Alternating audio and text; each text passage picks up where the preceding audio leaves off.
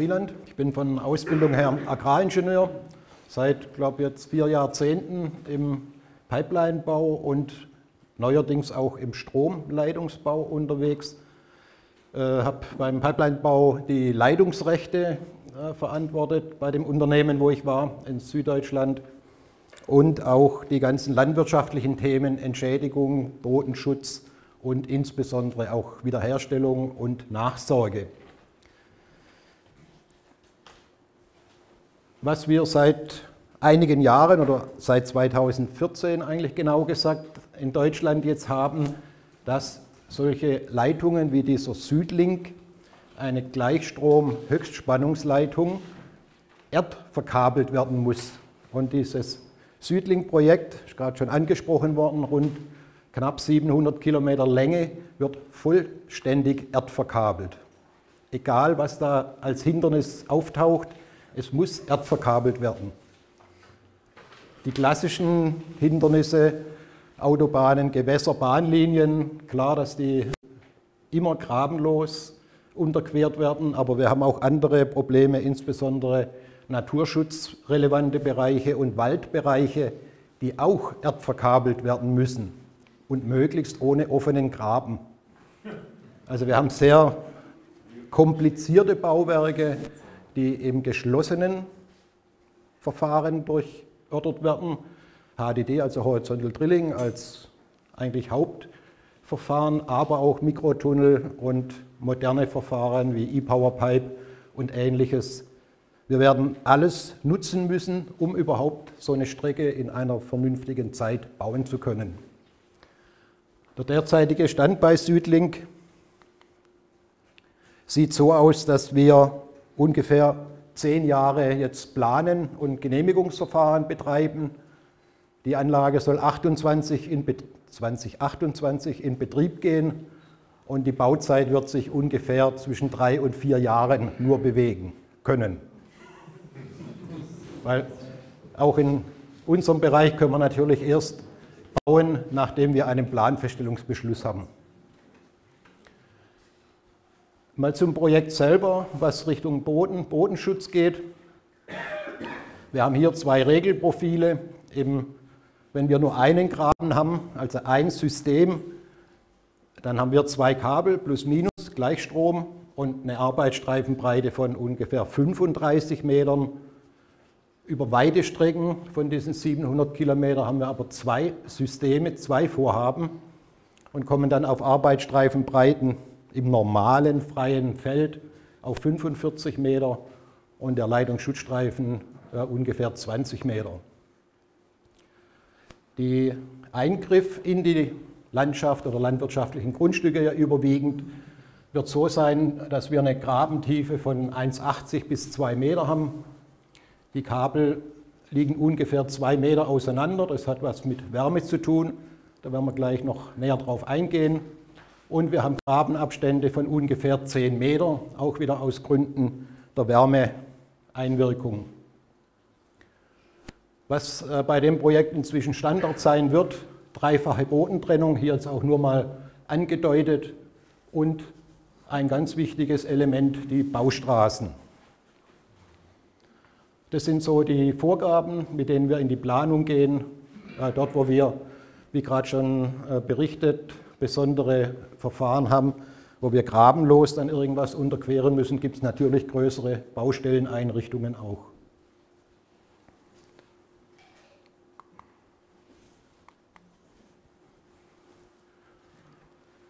Hier mal eine Übersicht, wie wir sowas planen müssen, also einzelne Abläufe. Bundesnetzagentur heißt bei uns, dass diese Firmen die diese Leitungen bauen, die sogenannten Transportnetzbetreiber. Gibt es vier Firmen in Deutschland, äh, die solche Leitungen bauen. Die können nun nicht selber entscheiden, was, wann sie wo machen und zu welchem Preis dann der Strom durchgeleitet wird, sondern das ist in Deutschland ja reguliert über die Bundesnetzagentur. Die Bundesnetzagentur ist auch die zentrale Genehmigungsbehörde, also nicht die einzelnen Bundesländer, sondern die Bundesnetzagentur. Diese Südlink-Leitung wird gebaut von Tenet und Transnet. Das sind zwei dieser Transportnetzbetreiber. Es gibt noch Amprion und 50 Hertz. Sie kennen sowas wahrscheinlich auch bei Ihnen. Antrag auf Planfeststellung, dann Antragskonferenzen, Öffentlichkeitsbeteiligungen. Wir stehen jetzt im Projekt ungefähr an dieser Stelle hier. Das heißt, in der Endphase der Genehmigungsverfahren, in den Anhörungsverfahren. Der nächste Schritt wird dann der Planfeststellungsbeschluss sein, den wir für Teilabschnitte jetzt schon erhalten haben und dann die eigentliche intensive Bauphase von dreieinhalb bis vier Jahre.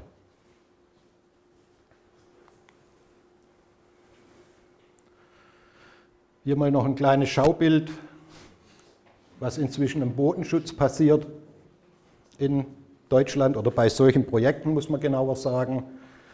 Äh, neben den üblichen Gesetzen, Bundesbodenschutzgesetz und so weiter, haben wir seit einigen Jahren jetzt auch eine DIN-Vorschrift zum Schutz des Bodens, die 19639, die auch aufgrund von gesetzlichen Änderungen, die letztes Jahr Gültigkeit erlangt haben, für uns verpflichtend sind. Es war immer die Frage, ist so eine DIN-Vorschrift nun verpflichtend, muss man die anwenden oder hat man da Spielraum? Äh, seit neuestem ist sie jetzt verbindlich und in der DIN-Vorschrift sind natürlich dann schon auch konkrete Vorgaben, wie Boden zu behandeln ist. was ich jetzt vorhin gezeigt habe, diese dreifache Bodentrennung und ähnliches, äh, geht daraus hervor und ist wie gesagt für uns inzwischen Pflicht. Das Thema, wo uns die Schweiz lang voraus war, bodenkundliche Baubekleidung, inzwischen auch Pflicht bei uns. Wir müssen bei solchen Projekten bodenkundliche, unabhängige bodenkundliche Baubekleidung beauftragen und einsetzen. Was wir bis jetzt aus Sicht Vorhabensträger äh, vermeiden konnten, ist, dass die Entscheidungskompetenz haben auf der Baustelle, sondern im Großen und Ganzen sind die beratend tätig, aber der Vorhabensträger muss sich natürlich schon überlegen, wenn er irgendwelche Vorschläge, Empfehlungen ablehnt, die vielleicht auch vorher im Genehmigungsverfahren in den Bodenschutzkonzepten erwähnt sind, weil die sind ja dann auch verbindlich nach Planfeststellungsbeschluss. Also es ist nicht so einfach, dann über die Empfehlungen dieser BBB hinwegzugehen. Ich glaube, auf die einzelnen Punkte brauche ich jetzt nicht eingehen, das ist ähnlich wie bei Ihnen auch. Äh, ein Punkt, das ist hier unten bei Bodenmanagement, Entsorgung von Verdrängungsmaterial. Das ist natürlich bei so einem Projekt nicht zu unterschätzen. Wir haben ungefähr einen Bettungskörper bei den Kabeln von 70 cm auf eine Breite von 2,50 Meter bis 3 Meter. Und wenn das Erdmaterial nicht geeignet ist zur Verfüllung, weil die Wärmedurchgangswerte nicht erreicht werden, dann ist letztendlich ein kompletter Austausch erforderlich gegen spezielles Bettungsmaterial. Bodenmanagement ist auch seit letztes Jahr in dieser äh, Mantelverordnung, die es da gab, gesetzlich verschärft worden. Wir müssen also ein konkretes Wiederverwertungskonzept auch in den Genehmigungsunterlagen vorstellen. Und Deponierung von Verdrängungsmaterial steht dann ganz am Schluss, wenn es keine andere Möglichkeit gibt.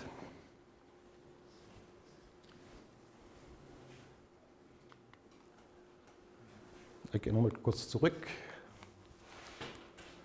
Was hier drin steht bei Rekultivierung, nachsorgend und vorsorgender Bodenschutz. Also wir haben diese dreifache Gliederung hier rechts außen, vorsorgend, baubegleitend, nachsorgender Bodenschutz.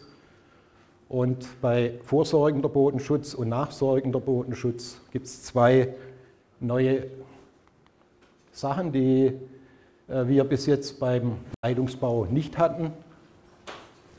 Das ist einmal die Vorbegrünung, heißt aktive Begrünung der Baustraße oder des Baufeldes, genauer gesagt, also die gesamte Eingriffsbreite von diesen 45 und mehr Metern soll möglichst eine Vegetationsperiode vor Inanspruchnahme begrünt werden.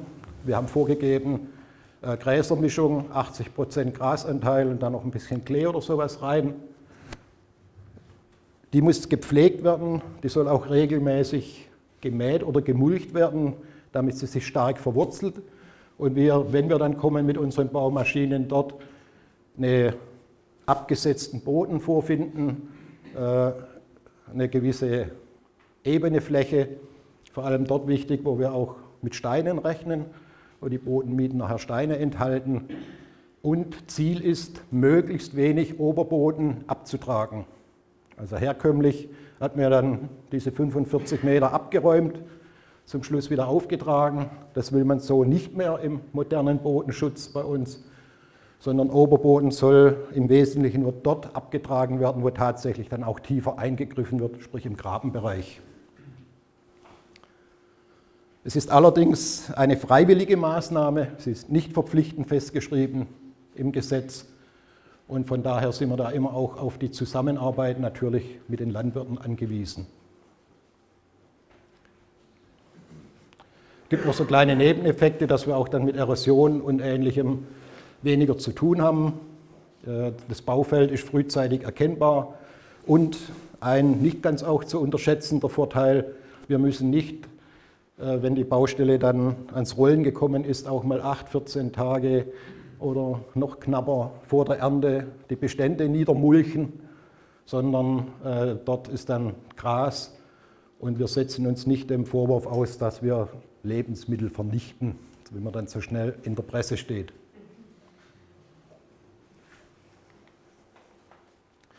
Dann nachsorgende Maßnahme, die Zwischenbewirtschaftung, heißt, dass nach Abschluss der Tiefbauarbeiten, also wenn die Oberfläche wieder hergestellt ist, der Boden eine Regenerationsphase erhalten soll, die in dieser DIN-Vorschrift zwischen ein und mehreren Jahren vorgesehen ist. Und hier soll dann, hier ist mal die DIN-Vorschrift auch benannt, hier soll, und das ist eine ganz wichtige Aufgabe aus unserer Sicht, dafür haben wir ihn ja auch dann angestellt und bezahle ihn, den BBB, dass er hier Empfehlungen abgibt anhand seiner Fachkenntnis und den Vorkommnissen, die während der Baudurchführung äh, passiert sind. Also hat der Boden stark beeinträchtigt, weniger stark beeinträchtigt, welche Maschinen waren da im Einsatz und insbesondere unter welchen Witterungsverhältnissen wurde gebaut. Auch eine freiwillige Maßnahme. Wir sind zurzeit dabei, das mit den Landwirten zu besprechen und auch vertraglich zu vereinbaren. Und klar, wenn es hier heißt, ein bis drei Jahre, diese Zwischenbewirtschaftung, das heißt, er hat nochmal diesen Streifen, dieses Baufeld oder ehemalige Baufeld in seinen Flächen zu berücksichtigen. Aber wir versprechen uns da doch eine relativ große Wirkung, was die Regenerations- äh, Zeit und Rekreationsfähigkeit des Bodens betrifft. Wir haben ja heute Morgen schon gehört, was da alles passieren kann. Selbst nur bei landwirtschaftlichem Betrieb auf so einer Baustelle natürlich noch extremer und noch schwerwiegendere Eingriffe. Hier dann auch entsprechende Mischungen, Luzerne, Klee und ähnliches, die die Struktur des Bodens, das Mikro, äh, die Mikroorganismen letztendlich das Mikrobiom beeinflussen sollen im positiven Sinn, um die Ertragsfähigkeit der Böden möglichst schnell wieder in ihren ursprünglichen Zustand zu bringen.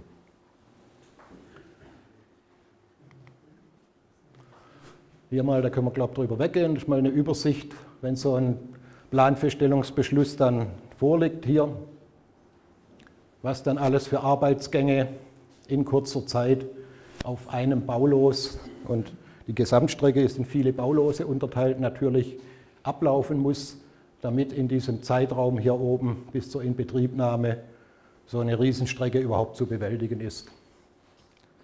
Also auch Logistik, logistisch eine sehr spannende Aufgabe und wir sind alle mal gespannt, wie das dann auch tatsächlich funktioniert.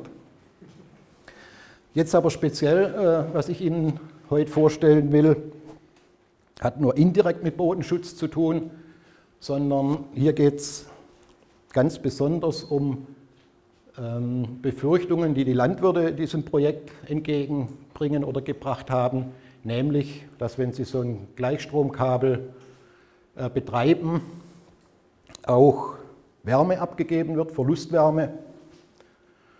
Und um diese Zweifel zu zerstreuen oder auch für uns Erkenntnisse zu gewinnen, haben wir ein Projekt generiert mit der Universität Hohenheim zusammen, landwirtschaftliche Universität, die genau diesen Einfluss von diesen Stromkabeln auf landwirtschaftliche Kulturen und den Boden erforschen soll.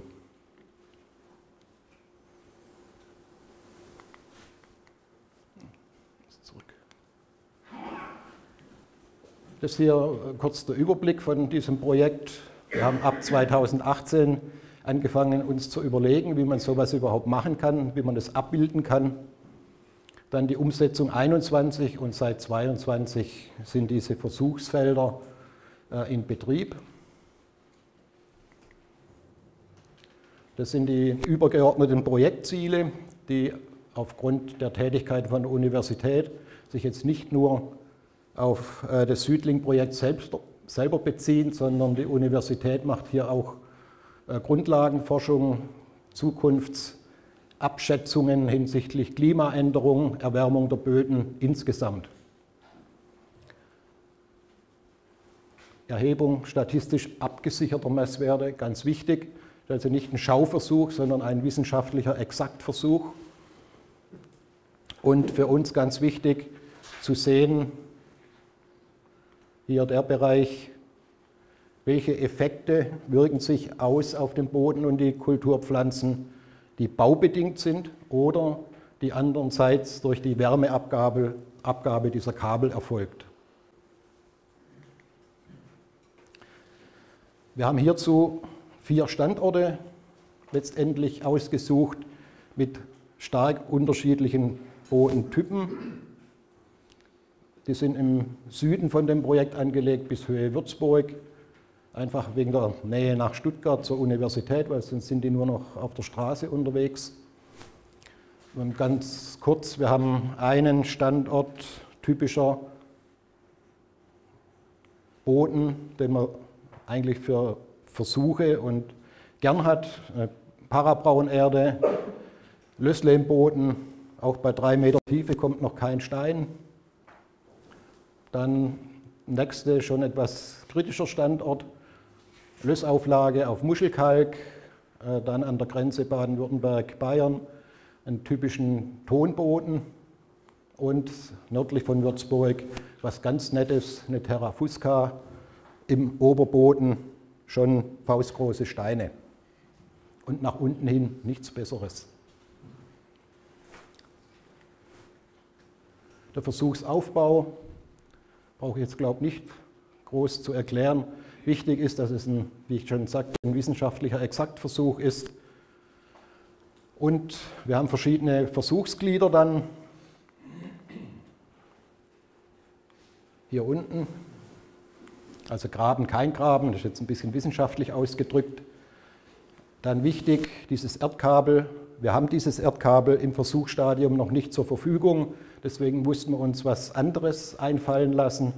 Was wir aber wissen, dass diese Kabel im Dauerbetrieb bei Höchstleistung 32 Watt pro laufenden Meter Wärme abgeben an den Boden. In dieser Versuchsanordnung haben wir uns dann überlegt, wie bilden wir das nach, weil eine normale Lastverteilungskurve, wo man davon ausgeht für diese Leitungen, bringt ungefähr 70, 75 Prozent im Durchschnitt. das heißt, es kann auch mal mehrere Wochen im Volllastbetrieb laufen und dann wieder äh, ganz wenig oder vielleicht aus Instandhaltungsgründen gar keine Wärme, weil die Anlage abgeschaltet ist.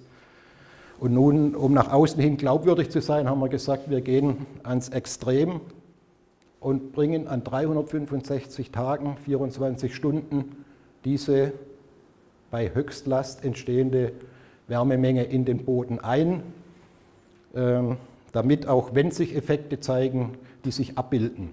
Nach dem Motto, zurück können wir immer noch, nach oben was rechnen, ist immer ein bisschen schwierig in der Außenwirkung. Neben der Wärme haben wir noch Bettungsmaterial untersucht und hinsichtlich Bodenschutz auch wichtig, diese Geschichte hier, Rückverfüllung Graben. Wir sprechen da nicht von äh, Rückverdichtung, sondern von Rückverfestigung. Wir wollen den Boden nicht verdichten, wir wollen ihn rückverfestigen. Und wir haben konventionelle Methode, äh, ein Vibrationsgerät, hier übliche Grabenwalzen, Ramax oder ähnliches eingesetzt und alternativ den Boden oberhalb dieser Bettungszone lagenweise eingefüllt und nur mit dem Baggerlöffel angedrückt. Wir erreichen konventionell eine Lagerungsdichte, je nachdem, wie hart wir da rangehen, von fast 100 Prozent. Bei Alternativ äh, kommen wir in der Regel nicht über 90 Prozent. Hat dann natürlich was mit dem Setzungsverhalten in Folgezeit zu tun. Hier kurz ein Aufbauschema. Wir haben drei Gräben uns ausgedacht. Zwei werden jeweils beheizt, einer nicht, in dem Beispiel hier, um diesen bautechnischen Einfluss aufgraben, zumachen von eventuellen Einwirkungen, die die Wärme bringt, zu differenzieren. Hier ein Schema ungefähr über die Verteilung der Messeinrichtungen, die wir dann haben. Hier der Graben, dann Messsonden im Abstand bis zu vier Meter und in unterschiedlichen Höhen eingebaut. Im Wesentlichen, ah, da kommt nachher noch ein Schema, äh, messen wir Temperatur, Feuchte, Feucht, Feuchte Fluss und Temperaturfluss. Hier diese Rückverfestigungsvariante, dieses Gerät, das wir da eingesetzt hatten in dem Graben. Angestrebte Lagerungsdichte, wie gesagt, 15, 90 bis 100 Prozent. Und bei Alternativ sind wir nicht über 90 Prozent hinausgekommen. Hier mal eine Draufsicht, wie der Versuch dann ausgesehen hat. Diese Gräben sind rund 80 Meter lang, das Versuchsfeld selber befindet sich in einem großen landwirtschaftlichen Schlag und wird dann auch, nachdem die Anlage installiert war, ganz normal in der Fruchtfolge und in den Düngepflegemaßnahmen vom Landwirt mitbewirtschaftet. Also keine Sonderbehandlungen, sondern wir wollten möglichst realitätsnah die Praxis nachbilden.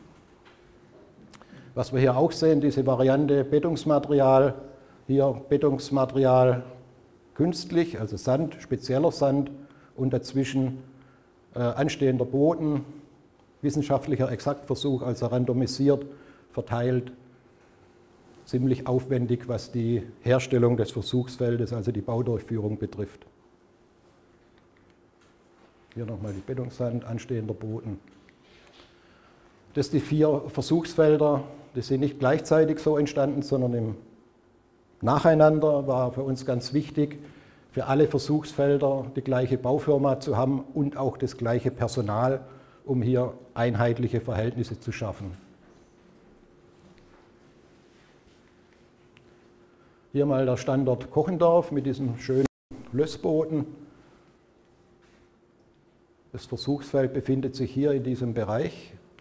Das erste, sogar im Anlagejahr, genau, das war die erste erste Feld, das wir aufgebaut haben, war dann im Frühsommer schon fertig und der Landwirt hat noch Mais angebaut.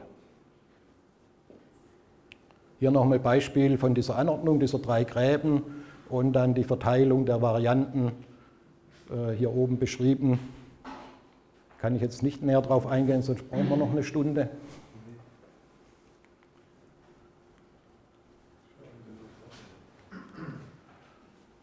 So sieht es dann während der Bauzeit aus. Hier mal ein Grabenprofil mit diesem schönen Braunerdeboden, Lösslehm. Natürlich der Traum eines jeden Landwirts. Dort wird auch intensiv Gemüse angebaut in dem Bereich. Boxberg sieht die Welt schon ein bisschen anders aus. Wir haben leider hier äh, bei dem Versuchsfeld einen Boden erwischt, der stark wechselt. Wir haben jetzt sehen hier, dass wir fast keinen Stein haben. Hier zunehmend Stein, also ein bisschen uneinheitliche Geschichte. Äh, das ist nochmal Blick in so einen Graben rein und wir sehen, wie hier die Silislym-Auflage stark wechselt. Hier vorne wird sie stärker und hier haben wir schon, dann schon das, was da drunter uns erwartet, über viele, viele Kilometer entlang dieser Leitung, Muschelkalk-Verwitterungsbereiche. Dann unser Tonboden, immer wieder das gleiche, die Anordnung, Aufbau, randomisiert. Und hier ein Blick in den Graben bei diesen Tonböden kann man schon an der Farbe erkennen, dass das dann so nicht so schön ist wie in dem Lösslehmboden. Vor allem, wenn dann die Tonschichten auch noch so stark äh, verworfen sind wie hier. Unterschiedliche Ausprägungen des Tonmaterials selber. Hier hat man so eine richtig ekelhafte blaue Schicht zwischendrin. Nach unten dann wieder eine andere Zusammensetzung. Und sowas dann zu trennen und wieder einzubauen, das ist dann schon eigentlich die hohe Kunst eines Tiefbauers, die er am liebsten gar nicht ausübt. Ich merke, Sie kennen sowas. Das ist unser Standort Güntersleben. Nochmal diese Terra Fusca. Äh, da kann man dann hier erkennen, schon wieder äh, Rückbau des Bettungsmaterials, wir da eingebaut haben. Und sehr schön zu erkennen, was hier passiert ist. Also das Material war so unschön, dass wir es nicht direkt wieder einbauen konnten, sondern hier über mobile Brecheranlagen erstmal rückbaufähiges Material schaffen mussten. Das ist auch ein Querschnitt Grabenwand. Auch hier haben wir drei Bodenschichten definiert. Den Oberboden, relativ gut zu erkennen hier, weil der geht schlagartig Zentimeter genau in eine andere Färbung über und in einen anderen Steingehalt. Dann hatten wir hier Unterboden definiert, in dem Bereich ungefähr, wo hier auch die grünen Punkte sind.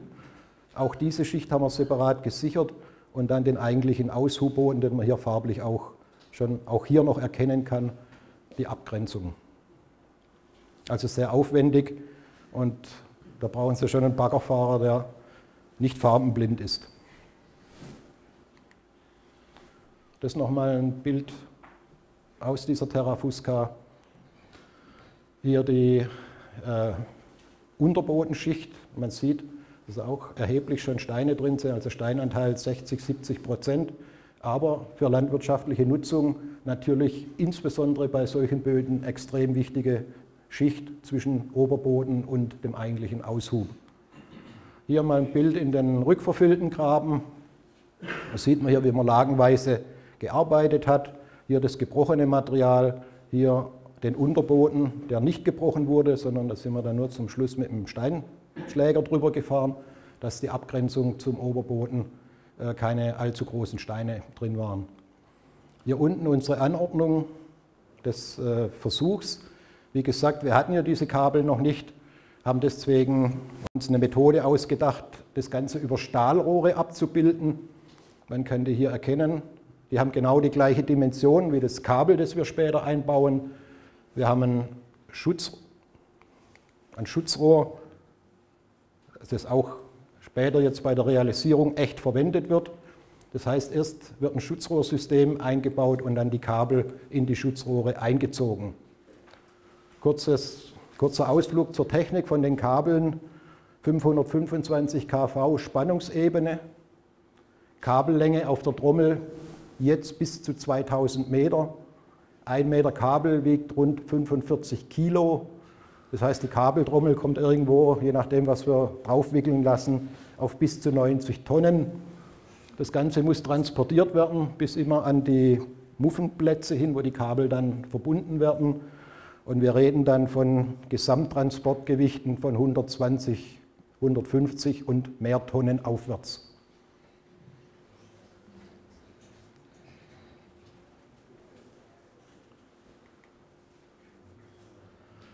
Dann, was untersuchen wir in, diesem, in diesen Versuchsfeldern? Bodenthermische und bodenhydraulische Eigenschaften, Bodentemperatur, Bodenwasserhaushalt, ganz wichtig natürlich hinsichtlich Landwirtschaft. Und Kabelbettung haben wir schon erwähnt, Simulation des gekoppelten Transports von Wasser, Wasserdampf und Wärme in einem HGÜ-Erdkabelgraben und Kalibrierung, Validierung von Berechnungsmodellen. Das heißt, es gibt natürlich Modelle und ähm, Untersuchungsmöglichkeiten, äh, das zu rechnen, was da passiert über den Wärmeeintrag. Aber ganz wichtig, man will über diesen Versuch auch diese äh, Modelle verifizieren, um zu sehen, hat man nun die richtigen Annahmen getroffen, wurde richtig gerechnet, bestätigen das die Ergebnisse oder nicht. Also für uns auch ein ganz wichtiger Aspekt, was die Universität hier macht, um zu sehen, sind unsere Annahmen richtig, was den Wärmeabtransport vom Kabel betrifft oder nicht. Weil das größte äh, Problem, das auftreten kann, ist natürlich, dass die Kabel zu warm werden. Dann gehen sie entweder kaputt oder ich muss in meiner Leistung runterfahren, damit das Kabel halt gerade nicht kaputt geht. Kabel wird auch überwacht, technisch auch eine ganz interessante Sache über Glasfaser, über Glasfasern, die in die Isolierung von dem Kabel eingebaut sind. Also eine laufende Überwachung äh, während dem Betrieb. Dann natürlich übliche Laborauswertungen, wenn wir uns über Böden unterhalten. Für uns auch wichtig hier Steingehalt über weite Strecken, vor allem in Süddeutschland bis hoch in die Gegend von Göttingen, Hannover. Ab dort haben wir dann andere Verhältnisse, da kommt dann eher das Wasser ins Spiel Richtung Norddeutschland. Die Gesamtstrecke geht von nördlich der Elbe bis ungefähr Heilbronn, diese 700 Kilometer.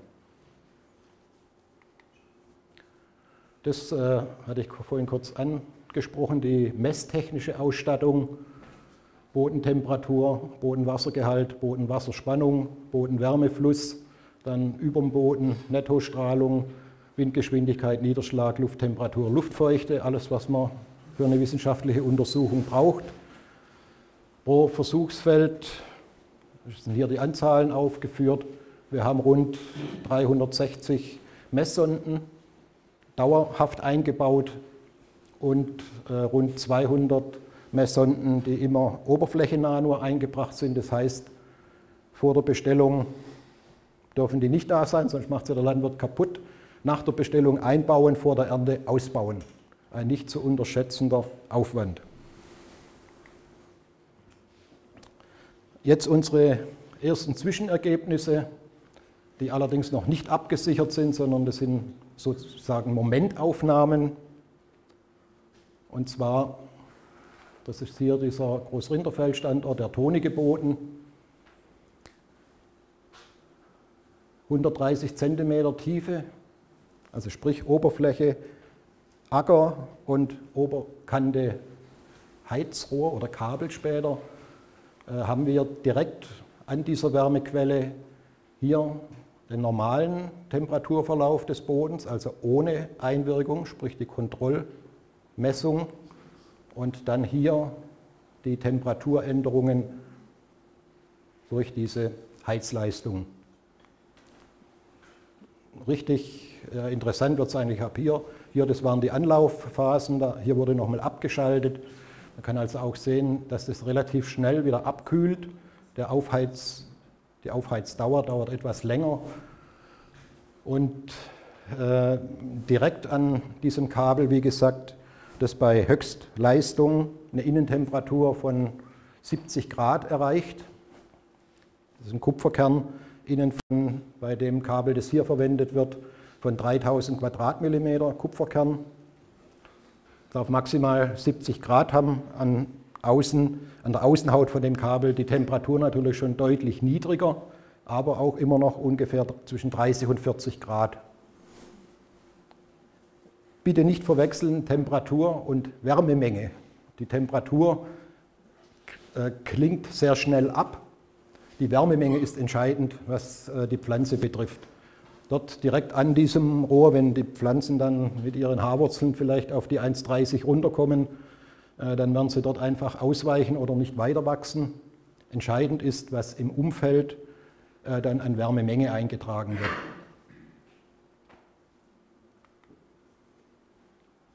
Hier in 50 cm Tiefe über dem Heizrohr.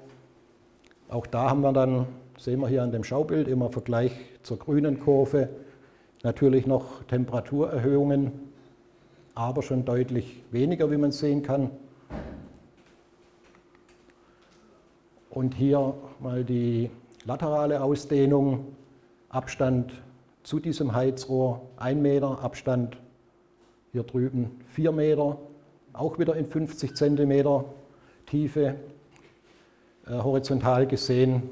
Und wir sehen bei 1 Meter Abstand, die Kurven werden jetzt, die Abstände werden immer geringer zu den vorherigen Schaubildern, wo wir direkt am Heizrohr waren. Und hier bei 1,30 Meter, äh, bei 50 cm Tiefe, Entschuldigung, und 4 Meter Abstand zu dem Heizrohr haben wir keine nachweisbaren Temperaturunterschiede mehr. Selbst bei dieser hohen Leistung, die wir da einbringen mit 32 Watt pro laufenden Meter an das gesamte Jahr über. Und diese Zwischenergebnisse, die haben uns doch in einem gewissen Maße beruhigt, dass wenn überhaupt Auswirkungen zu befürchten sind, äh, das in einem sehr engen Rahmen entlang der Kabel stattfinden wird und nicht jetzt auf 20, 30 oder 40 Meter Breite. Das sind die pflanzenbaulichen Untersuchungen.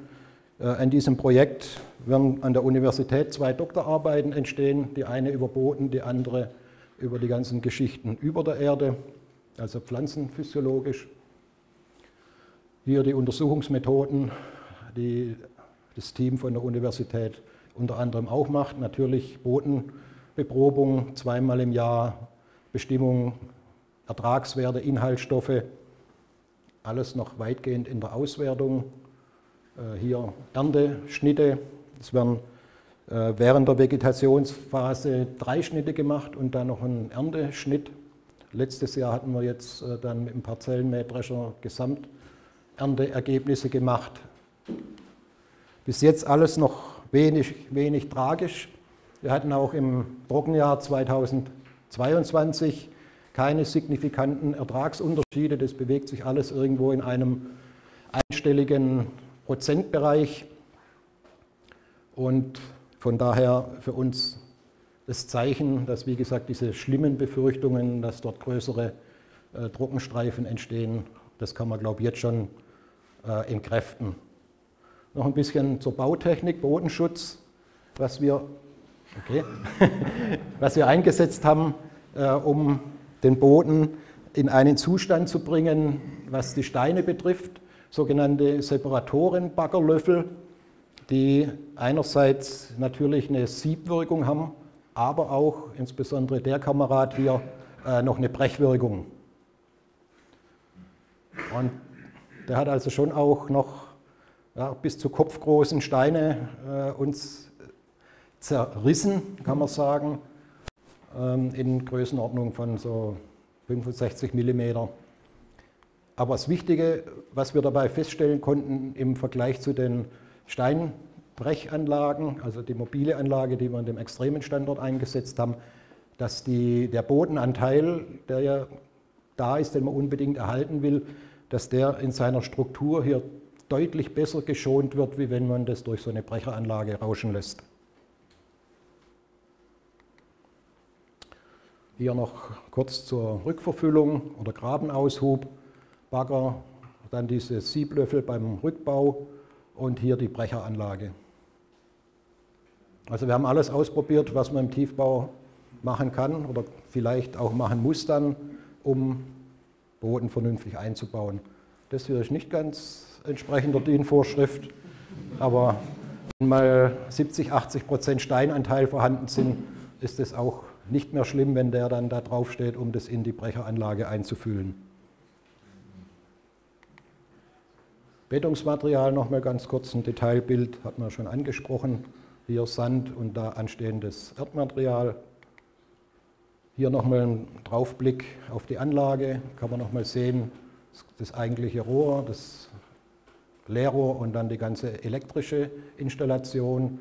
Das hier wird natürlich bei dem Südling später nicht entstehen, das brauchen wir nur, um unsere ganze Messkabel zusammenzufassen und Richtung eines Containers zu bringen. Äh, noch zum Betrieb der Kabel, äh, der, dieser Stahlrohre. Äh, wir haben mit einem Spezialisten der im Leitungsbau tätig ist bei Wärmeleitungen, also Nahwärmenetze und sowas, ein Gerät entwickelt, dass wir diese Leitungen über die definierte Stahlqualität und Stärke elektrisch geregelt beheizen können, dass auch tatsächlich diese 32 Watt pro laufenden Meter Wärme abgeben. Also eine ganz wichtige Geschichte in diesem Versuchsfeld. Da haben wir auch länger dran rumgebastelt, äh, bis wir da die technische Lösung hatten. Hier nochmal Bodenschutz, Oberboden und dann der Unterboden, hier aus Platzmangel an die Miete angelagert, aber auch erst nachdem die Miete dann sauber profiliert war, sodass man das auch wieder vernünftig trennen kann. Dass die Kollegen, die die Messsonden vergraben haben, am liebsten haben die in dem Lüssel im Boden gearbeitet. Hier, da haben sie dann schon ab und zu auch mal Blasen an die Finger gekriegt.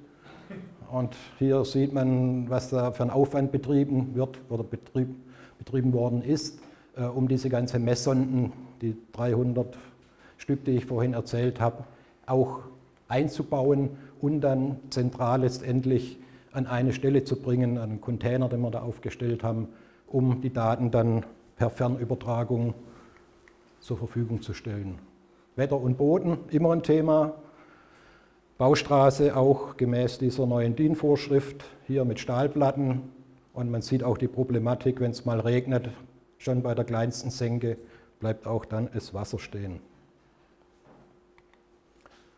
Fazit, ich habe es jetzt, glaube ich, schon so ein bisschen auch einfließen lassen. Wir haben keine gravierenden Einwirkungen bis jetzt festgestellt über Wärme. Ähm, was eher ein Thema ist, ist hier die qualitative Ausführung der Tiefbauarbeiten. Die haben nach unserer Überzeugung längerfristig Einfluss auf so eine Baustelle, auf so eine Trasse, wenn sie halt qualitativ nicht ordentlich gemacht werden. Da noch ein Hinweis, den wir auch gerne geben. Diese dieses Projekt wird gefördert vom Umweltministerium Baden-Württemberg hinsichtlich der Tätigkeit der Universität. Das heißt, die Aufwendungen der Universität, im Wesentlichen Personalkosten, äh, werden nicht von uns getragen, sondern vom Umweltministerium. Und wir können daher nach außen darstellen, äh, dass die Ergebnisse wirklich unabhängig ermittelt werden und nicht so nach dem Motto, wer bezahlt, bestimmt auch zumindest ein Teil der Ergebnisse. Also diesem Vorwurf setzen wir uns hier nicht aus und müssen uns da beim Umweltministerium Baden-Württemberg auch immer wirklich, bedanken, dass sie das angenommen haben. Ging nur, weil die Universität halt nicht projektspezifisch forscht, sondern allgemeine Forschungsziele da aufgesetzt hat. Jetzt noch ein kleiner paar Bilder Übergang zum Vortrag von Matthias. Hier sehen wir nochmal so eine Baustelle, wie wir uns das heute vorstellen. Lagenweiser Einbau, Baustraße und saubere Trennung von Bodenmieten. Hier Vorbereitung einer Baustelle, vorbegrünende Fläche, was ich vorhin erzählt habe, und dann Aufbau von Baustraßen, bevor irgendwas groß passiert. Also nicht erst Spuren reinfahren und dann die Baustraßen aufbauen, sondern genau umgekehrt. So sieht es aus, wenn die Platten zurückgenommen werden. Hier dann so eine Zwischenbegrünungsfläche, hier als, auch als Versuch angelegt von Tenet mit verschiedenen Kulturen. Dann noch ganz kurz als Abschluss die Baustraßen, was wir jetzt im Wesentlichen ähm, vorsehen. Einmal die Stahlplatten, dann die mineralische Baustraße mit Geotextil drunter. Das kommt jetzt dann gleich, das Thema, was da alles zu beachten ist. Dann, äh, was neu kommt, was auch durchaus verwendbar ist, Kunststoff, Lastverteilungsplatten hier mal verschiedene Typen. Das linke Produkt ist schon etwas länger im Markt, wird auch, äh, über, hat Überlappungen, wird mit Elementen verbunden und sieht dann ausgelegt so aus. Das hier, wer letztes Jahr hier war, der kennt das Bild vielleicht. Kunststoffplatten, die eigentlich im Wesentlichen als Parkfläche verwendet werden können, aber ansonsten halt äh, zu elastisch sind, äh, um Kräfte abzutragen. Dann gibt es äh, am Markt, das sind keine Baggermatratzen, wie wir sie kennen, sondern das sind Kunststoffnachbildungen. Die haben sich aus unserer Sicht noch nicht so ganz bewährt, weil sie äh, zu brüchig sind. Wenn der Untergrund nicht eben ist, dann brechen die auch mal ab. Und wir haben natürlich die klassischen Baggermatten hier Dann ein paar Exoten, Holzhackschnitzel kann man auch machen, wenn man genug Abraumholz hat. Und Aluplatten natürlich. Das brauchen wir nicht. Vielen Dank, das war es mal aus meiner Richtung.